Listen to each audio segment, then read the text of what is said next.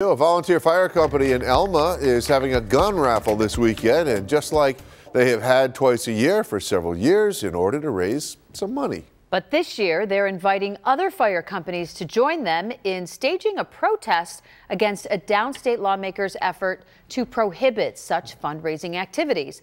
Our Dave McKinley has the story. So it's really important to get everybody together, just to send a, a friendly message back to the to the governor in Albany that that we can't really stand for this out here in the rural areas. What Jamison Road Volunteer Fire Company board member Brian Nolan is talking about is a bill in the state legislature which would ban gun raffles. It was introduced by Assemblywoman Jo Anne Simon, who's from New York City. I like the bill to separate New York City from New York State. We're pretty sure they don't have these types of gun raffles out there.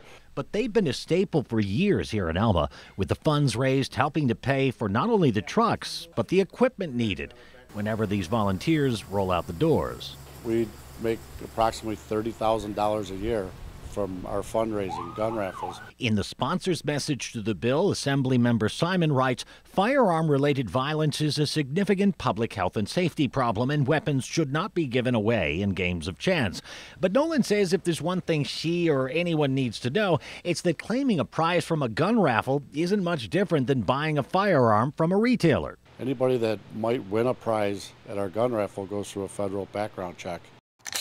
By a federally licensed gun dealer who, in fact, would be on hand to provide that. If you don't pass that, you don't leave here with a gun.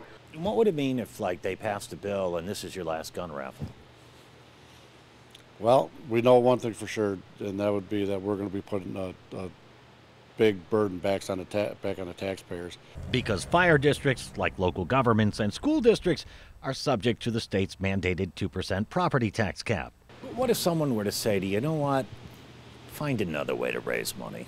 Have another chicken barbecue. We've had bingo, chicken barbecues, different types of events like that. They just don't make the money that we need to, to really survive.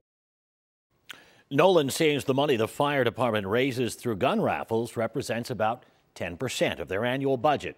They're inviting other fire companies to bring their apparatus as part of the rally as well, which starts at the Jamison Road Volunteer Fire Company at noon on Saturday. Dave McKinley, Channel 2 News.